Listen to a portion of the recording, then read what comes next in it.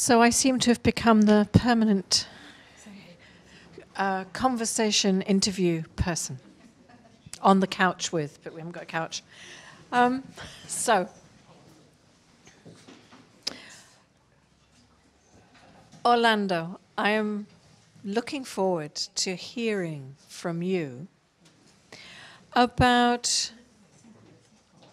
your perspectives on culture and systems, and especially hearing you talk earlier about being a psychiatrist and working inside organizations in this role and looking at the systems of the organization that and I'm thinking very much here that this has echoes of Eric Berne and he wrote many papers in the 1930s and 40s and later about psychiatric systems.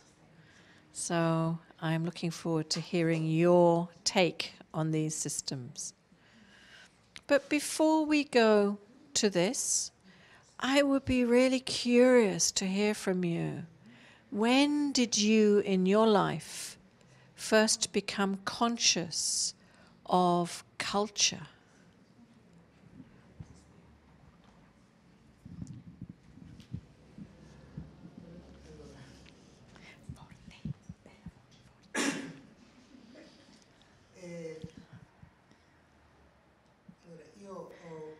Cominciato a, a vivere eh, professionalmente in un ambiente con una cultura doppia.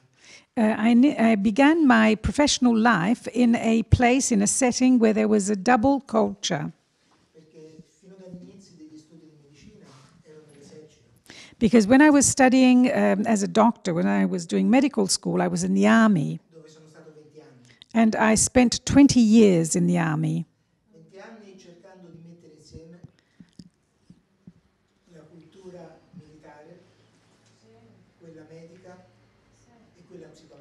Twenty years during which I tried to bring together the uh, army culture, the medical culture, and uh, psychological culture. E? It, it wasn't that easy.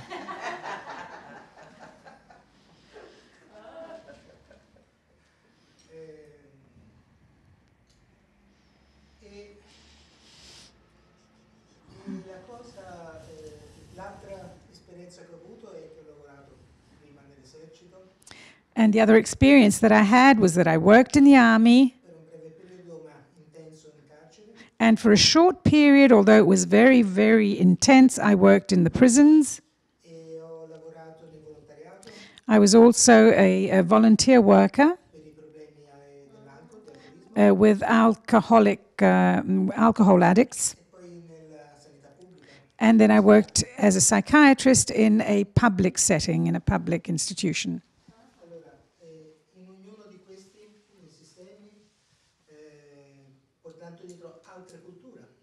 Uh, in each of these systems, I, uh, io ho portato altra cultura. No. Ah. And so in each of these systems, I brought in uh, different levels of culture, different cultures. Because in the meantime, I had also started training in TA.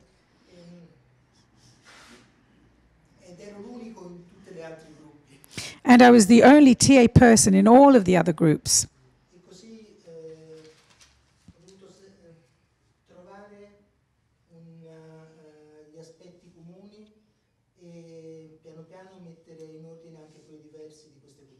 And so I had to uh, find the points in common amongst all of these cultures and little by little also try to reconcile the different aspects present in these cultures.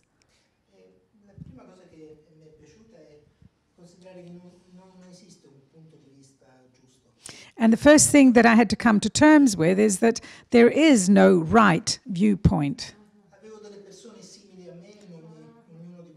In each of these areas, I had people that were very much like me. But with none of them did I uh, really feel totally at home.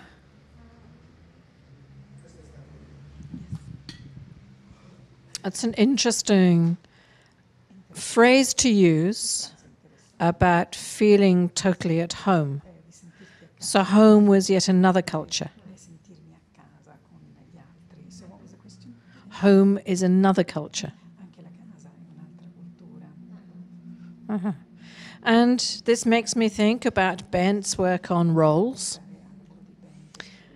Because it sounds as if you had a number of different roles.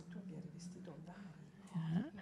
Some in the professional world, some in the private world, and some in perhaps the organizational world. And I guess my curiosity is whether you felt you had to reconcile these different cultures inside you, or did you s- experience being a visitor, a tourist into different cultures?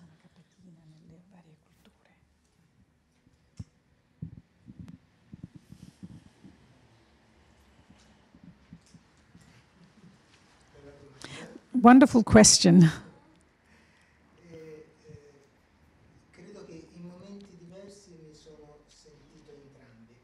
I think that in different moments I uh, experienced both of these conditions.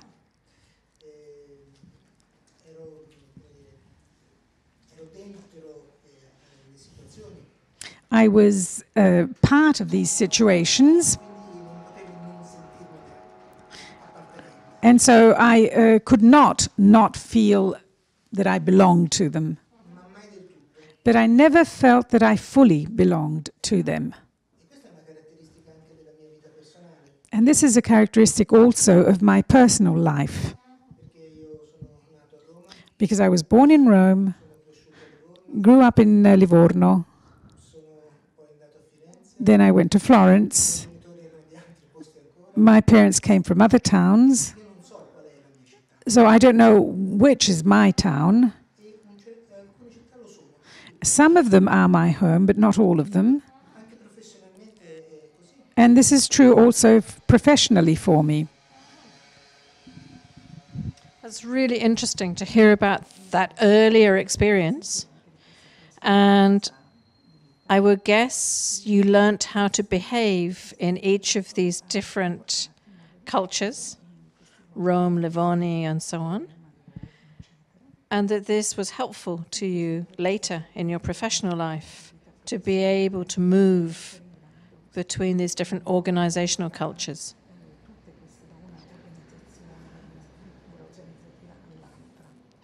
So it sounds as if your awareness of culture, maybe not conscious awareness, but an awareness of culture happened to you early in your life, much earlier. Yeah. And as you discovered these different cultures professionally in these different systems, what did you begin to understand was the meaning of culture?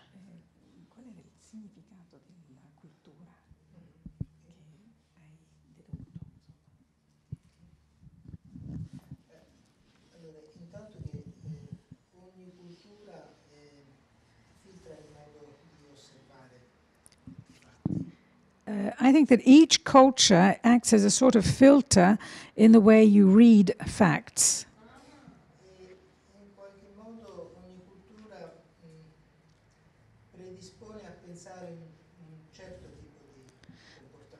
And I think that each culture uh, predisposes individuals to give a certain reading of events.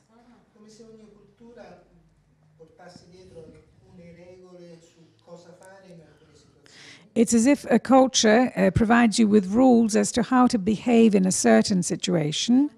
Professionalmente questo significa che alcuni problemi eh, è normale affrontarli in un dato modo. And this means that uh, from in a professional setting, certain problems need to be dealt with in a given way. Se qualcuno li affronta in un modo diverso, And if someone deals with them differently, then that's a bit out of, um, it's not right. When I was in the military, I was a doctor. I was a funny sort of military.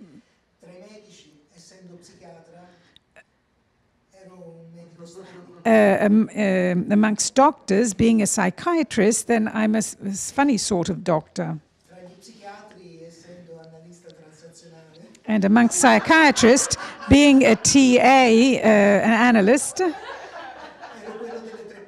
I was the one that had three balls.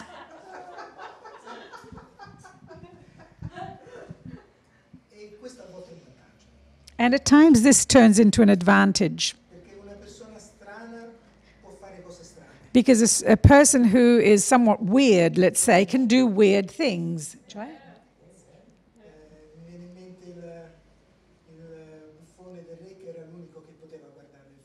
Uh, what comes to my mind is the fool or the buffoon at court who was the only person who could uh, look at the king or challenge the king. And I also think in my mind Eric Berne's idea of the person from Mars. A bit weird from outer space.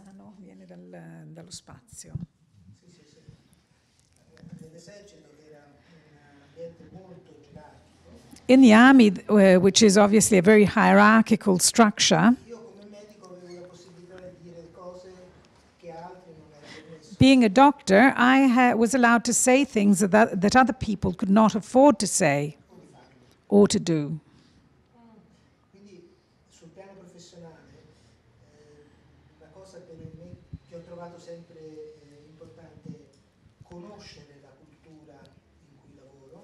Uh, so, from a professional point of view, what I have found to be very important is to uh, know or be fully aware of the culture that I'm in and be able to introduce elements from another culture.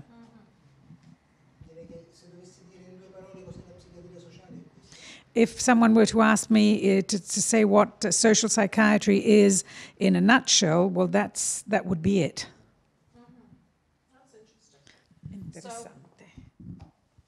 As you're talking, I'm thinking about um, a lot of the work of Eric Berne in the 1930s, um, which he tried to continue after World War II, when he traveled to many different cultures to look at how mental illness was defined and the nature of the psychiatric institutions which were there.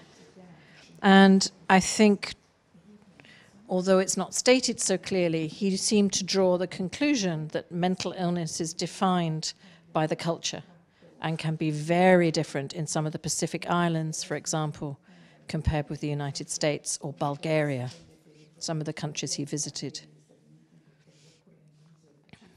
But I was wondering also, from your experience, to what extent you see cultures creating these different organizational cultures creating various um, symptomatic schemas amongst people. So, being at cause as well as being uh, the containment that Berne talked about.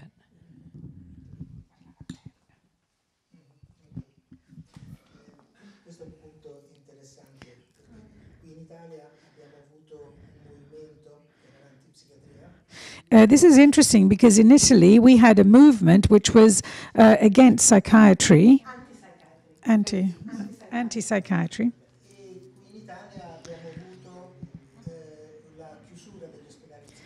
and at one point the psychiatric uh, hospitals or institutions were closed down in Italy, and we're we're the only country in the world that doesn't have psychiatric uh, hospitals, even though some countries started out with the psychiatric communities before we did.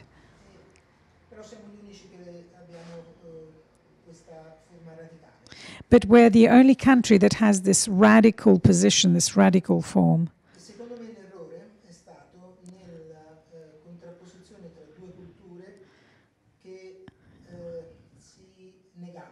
And in my opinion, the mistake lay in the fact that uh, there were two cultures set against each other, each of which denied the other.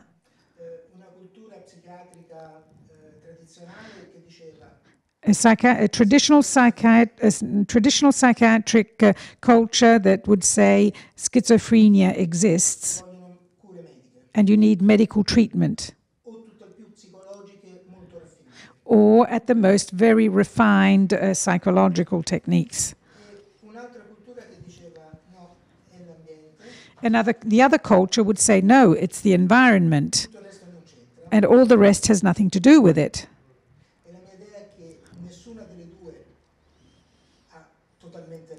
And my position is that neither of these two is the truth. ma tutte e due contengono una parte di verità. But both positions contain some degree of truth.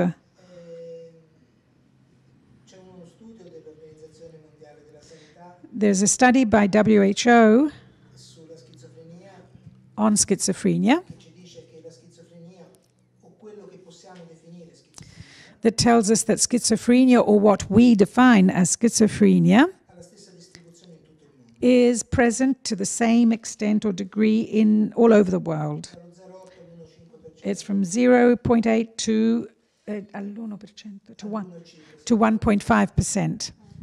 E lo stesso studio però dice che l'evoluzione di questo disturbo eh, è completamente diverso dal tipo di cultura. Uh, but the, the same study tells us that the way this um, uh, disorder has evolved is different uh, in the various cultures. Presso i Sioux Lakota, Uh, uh, with uh, our, the Sioux, uh, Sioux Lakota in the north of the United States,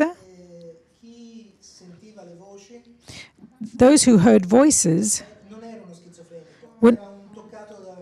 was not considered to be a, um, a schizophrenic person, but he was touched by uh, the God and he was held in great esteem and needed neither to work nor get married.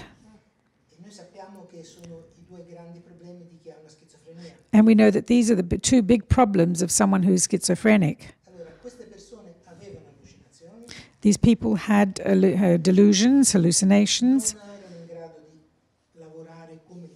They weren't capable of working on equal terms with others, né di avere una normale eh, vita di eh, relazione. Nor could they have a normal type of relationship.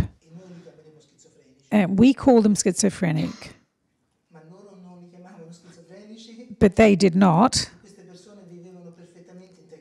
And uh, therefore, these people lived, and furthermore, they lived in a fully integrated manner.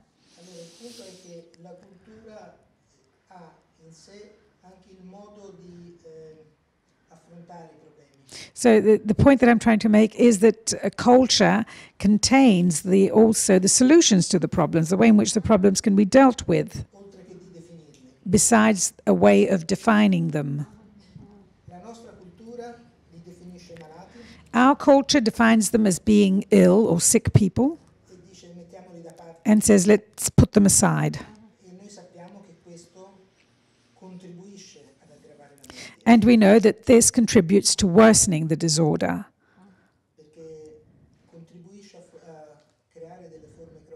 because it contributes to uh, creating chronic forms. Other cultures see this differently. The problem is always the same, but it is seen, described, and dealt with in different ways. And at least in this case, with much better results than we get.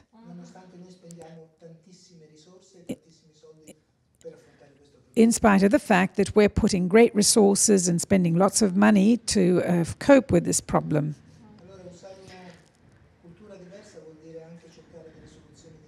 So, uh, looking for an, or, or seeing another culture also means looking for or finding different types of solutions. And if a person has hallucinations or delusions. I need not deny what is, what is happening to him,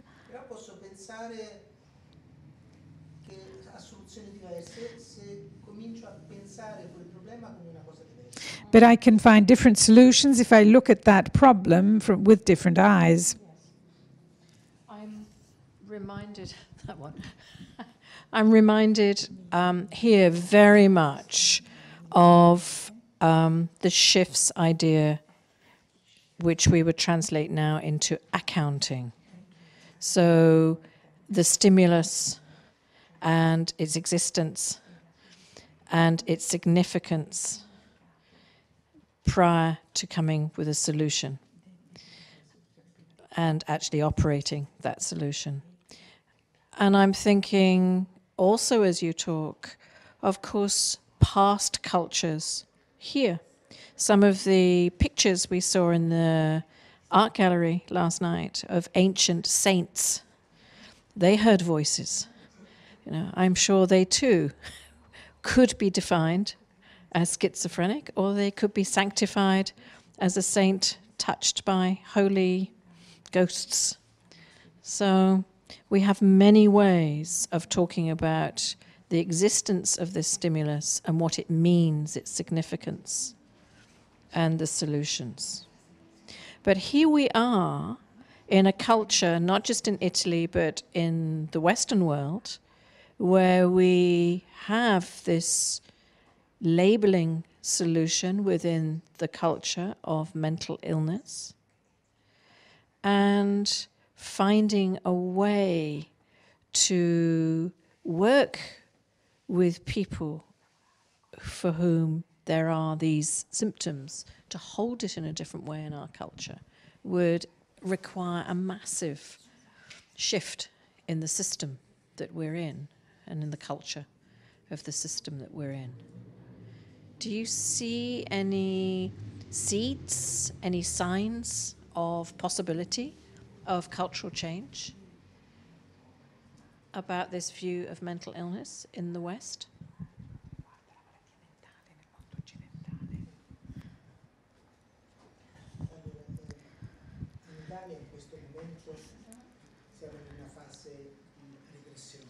Regressione. From this point of view, in Italy, right now, we're going through a regression. E, e si sta tornando a, a etichettare e viene richiesto di rivedere la legge 180 And we're going back to labeling and even to a revision of uh, uh, Act 180. senza nessuna discussione sulla Uh, Act 180 is, which is the, the act under which the uh, psychiatric hospitals were closed down. And this is being done without any public debate.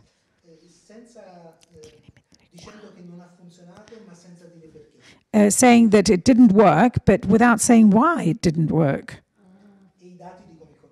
But the figures uh, give an opposite story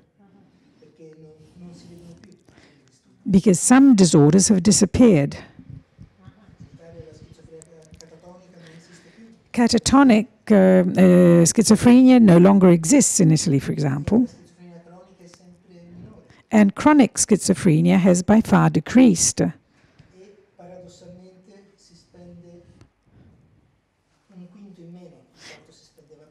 And paradoxically, we're spending one fifth less compared to what was spent before. Ma eh, su, oggi parlavamo in un gruppo di quello che produce la, la paura e il senso di insicurezza sulla cultura.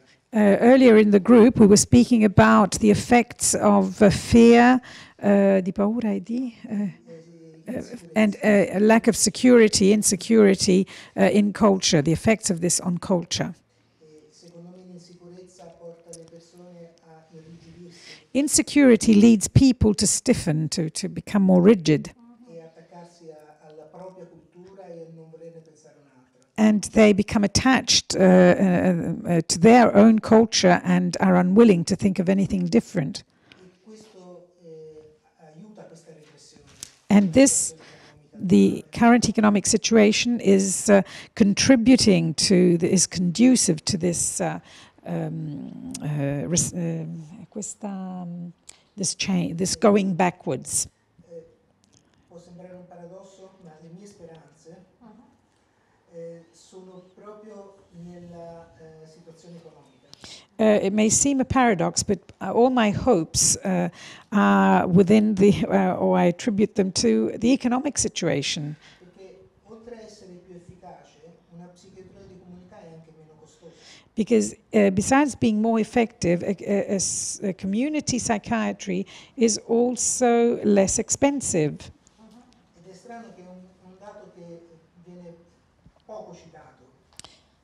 And there's a figure that is not quoted very often.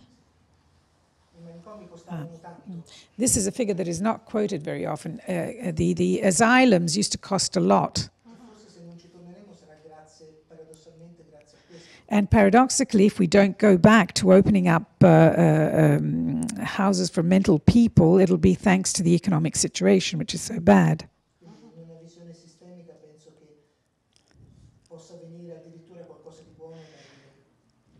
So, from a systemic point of view, perhaps something good comes out of a negative situation. Yeah, it's very interesting that connection of recession with regression. E- um,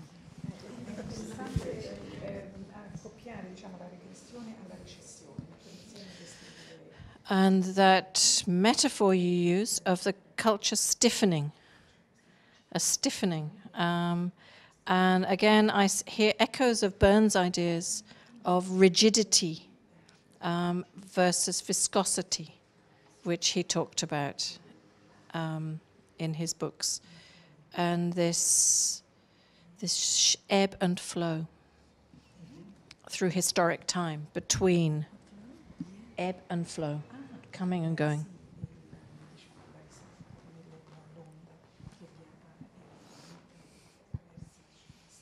So we must also think about culture across time.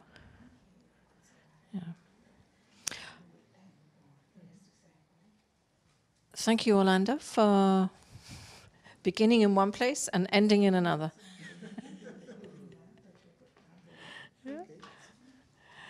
And I am going to hand to Sylvia.